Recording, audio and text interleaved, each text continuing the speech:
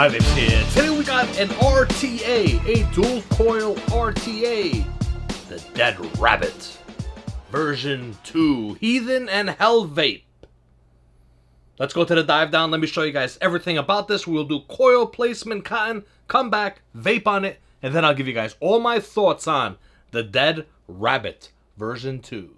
And here's the packaging, the Dead Rabbit version 2 RTA by Hell Vape and Heathen comes in. And for those saying that Heathen's name isn't on the packaging, it's right there. You see it? Produced by Heathen. Produced by Heathen. Did he manu... Heathen, you've been making these in a machine shop? Inside the package you'll get a user manual, a sticker, a bubble glass, baggie with some extra O-rings, top fill gasket and post screws, a flathead and Allen key driver. And here is the Dead Rabbit version 2. Straight glass you will get 2 mLs of e-liquid, Bubble glass will hold 5 mLs. The RTA is a 25mm RTA, gold plated 510. Will come in a bunch of different colors. Here it is with the bubble glass on there. This is the matte black where you could see the logo going on there and Dead Rabbit V2 on this side. Got that design going all around. Same theme as the original.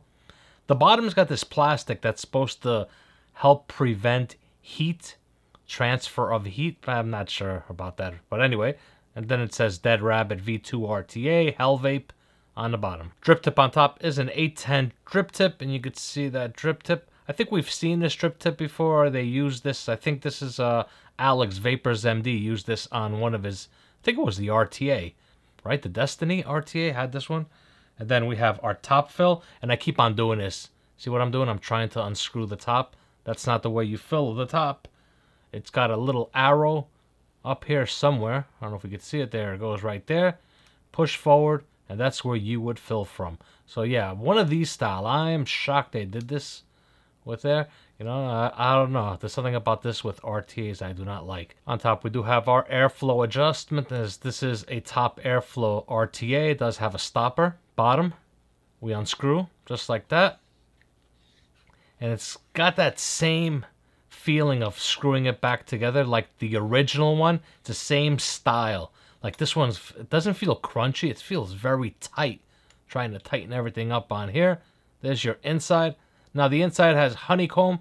If I'm not mistaken, I think this piece does pop out. Let's get this out like that.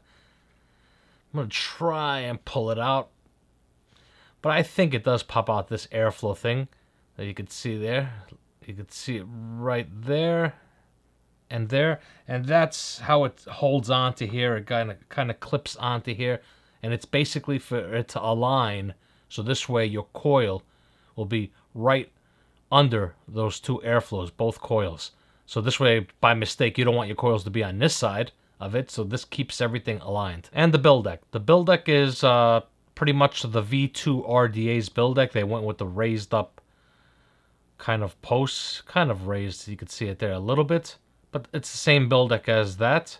I think this was done by the Yup RDA, had done that flared up thing, and now Hellvape is, and Heathen are doing it with the V2 versions of the dead rabbits. And there it is with the post holes fully open. It is using flathead screws. Now, to cut your coils on this one here, coily tool, I recommend 5 millimeter to cut them. Now that I got them cut at 5 millimeters, I'm just going to put that coil in. And what I'm going to do here is I'm just going to raise it up right there and just tighten them up. And as you can see, right about that height right there is perfect. There you go. Got the coils perfect inside there, as you can see. Gonna get the hot spots out now. So I'm just going to pulse and strum the coils until they're glowing evenly.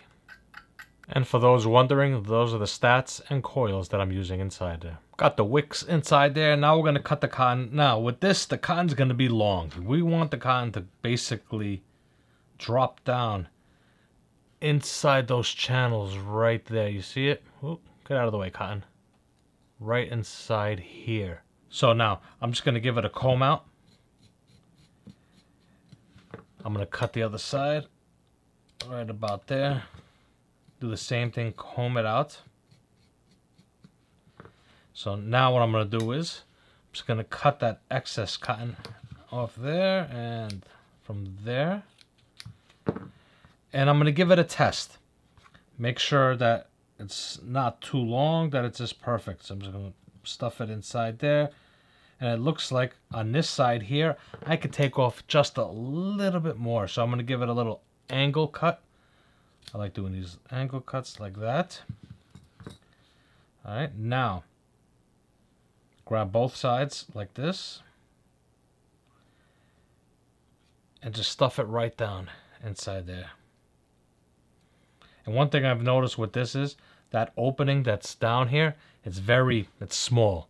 So you might have to thin out your cotton a little bit more just to get it inside there, which I might actually do that because th for it to wick better, I think it's going to need to be thinned out. And there you go, all wicked up. Now, I'm to put some liquid on top just to get it started.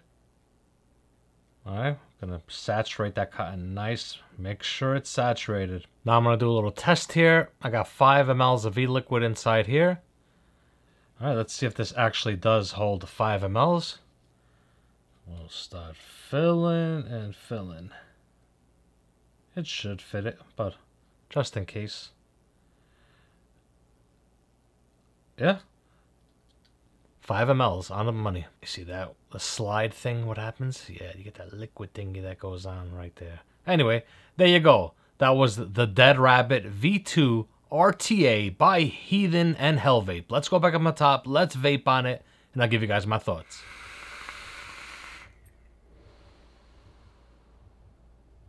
There you have it. The up close Dead Rabbit V2 RTA by Heathen and Hellvape. Mike, your thoughts on this one?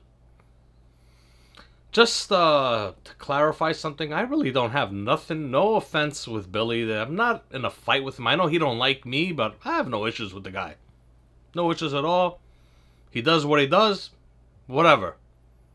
Just want to clarify that. Okay? Now, V2 on this RTA, I don't consider it to be a V2. This is more of a V1.5. A V2 would have been something totally different. It's basically the same couple of changes. There's like two changes from the original.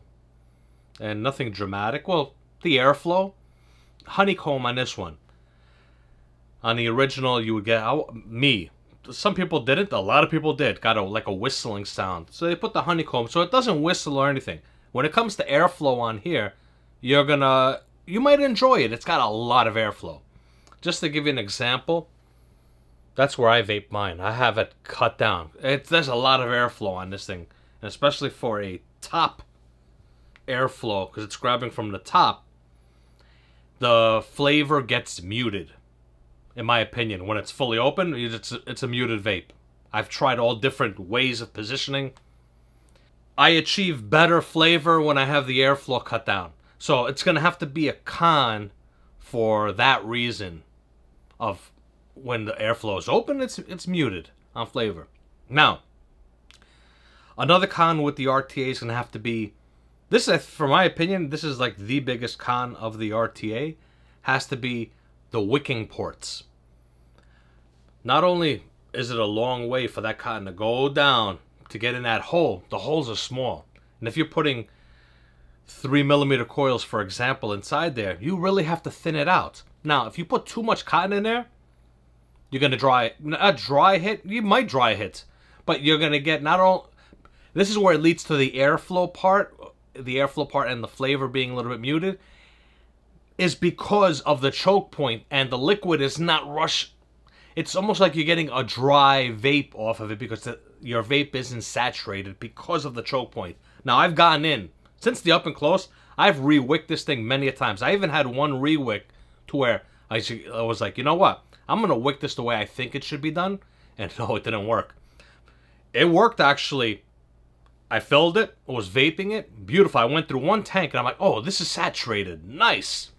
When I went to fill up the tank, all the liquid, the pressure, because obviously my cotton I was too short, I didn't, I prevented the choke point where I achieved that great vape, but because of that, when I filled it, it back the pressure released it and the liquid it flooded. So when I went to take my first hit off it, a burst of liquid I sucked up right out of my mouth.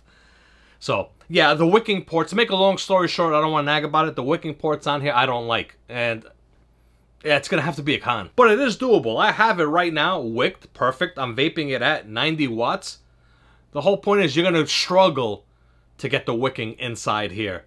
Right. Perfect. Which I think they overlooked it. They should have beta tested it or something. But who knows? Whatever. Maybe I just suck at wicking.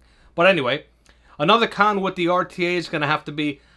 I, I like the top fill, and I don't like the top fill on here. I have... Uh, every time I, I fill this, I have residual liquid. That, that happens even with regular top fill RTA. But for some reason, because it's only a one-sided, I've had a few instances where I'm filling it, and it, I'm trying to fill it all the way up, and I have back pressure happen and liquid starts popping out. Maybe the hole is too small. The chimney is kind of in the way inside there. Yeah, I'm not a big fan. I like these top fills, and I don't like these top fills. Let me put it that way. All right, so whatever. I'm I'm gonna I'll excuse the top fill on here. Now, is it loose? No, I've looped. This has a lot of liquid on it, and it's tight. This is what very tight on the sliding mechanism. This opening up on you, I don't see it happening. But I think that because it's this type, you've seen it with other. Well, this is mainly you see these top fills with sub-ohm tanks. There should have been a membrane, so just in case it does open, you don't have any leakage coming out of there. But I haven't experienced anything that is tight on there. Now, let's go into some pros with the RTA. The build deck. The build deck is beautiful. It's an easy build deck as long as you know where to cut your coils. You don't want to place it too high, your coils. You don't want it to hit the top of the chimney, obviously. So you have to be careful with your height. Right where I put them was perfect. You want it as low as possible because obviously it's also depend because of the wicking too. You don't want that wicking to be such a long run. So you have to find that in between with it. Now, build quality on the RTA, it's beautiful. It's a nice looking RTA. I'm gonna have to get a Pro. Bubble glass, 5 mLs. It's gonna have to get a Pro. It's a 25 millimeter. It's gonna have to get a Pro. The drip tip is nice. That's on there. It's gonna have to get a Pro. You know what? It's not my favorite RTA. I've I've vaped so many good RTAs that vaping this one here, uh, it's uh, it's not my thing. It, and it mainly has to do with the wicking on this, and also top airflow RTs. If you think about it, your airflow is on top. You're just going like this. You're bypassing the coil. I think it's better if the air hits that coil, hits it. Uh, this is kind of missing the coil. Flavor rating on this, from a 1 to 10 scale, I would have to give it 6.5, 7. 7, you're going to achieve it if you like perfection on the wicking, and it's a pain in the ass to wick. You know, I don't like doing these kind of videos, but I, you know what? I have to say the truth, and that's the way it goes. You know, if something if I find something that it's not satisfying for me in my vape, I have to say it, you know? So, Hellvape, I know you guys, Billy probably doesn't even know I'm even reviewing it, whatever. I have no hard feelings with him, but I know Hellvape's to be pissed at me over this review, and uh, I, I speak it as it is. I tell it the truth. Sorry. So, anyway, that was the Dead Rabbit V2 RTA in the description below. No links to these, not allowed. It's a YouTube policy thingy. Just my links, advocacy links down below, as always. That's it. I'm done. Thank you. Remember, be safe and